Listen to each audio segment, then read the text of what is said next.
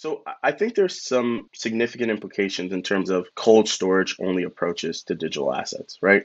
Um, at Fireblocks, we have uh, you know an integrated stack from cold storage to warm to hot, right? We believe there are use cases in which cold storage makes a lot of sense.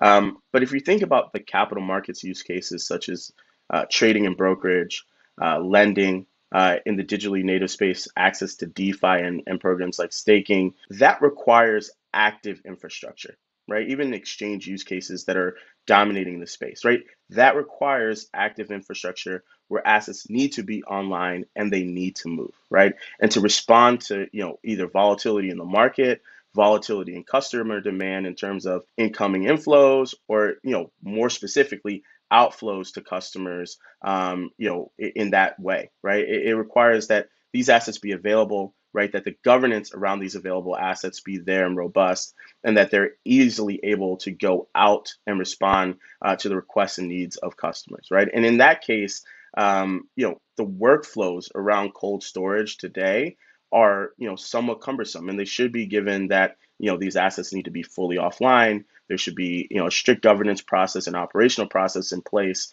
right? But they typically in take 24 to 48 hours for those assets to now become available uh, and to be utilized in hot infrastructure to then go out right and and so you know the idea of really leveraging an integrated stack where within one system you're able to deploy capital that i think is more on the treasury reserve basis within cold storage right but then in terms of active in and out flows of assets right can leverage hot and warm infrastructure with kind of robust governance and security, um, I think is the right approach and is the approach that we're seeing most of the market take these days.